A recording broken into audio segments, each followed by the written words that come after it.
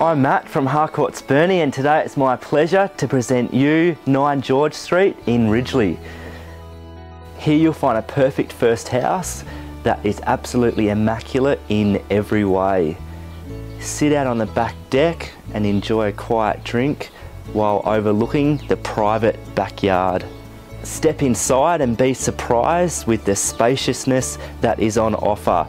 A large open plan living area with a roaring wood heater and a very neat kitchen.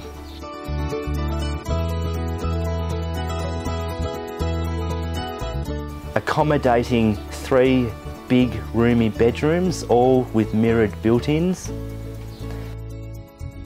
A centrally located main bathroom with separate bath and shower. There is a single garage, workshop and carport situated in a quiet part of Ridgley within walking distance to the local store.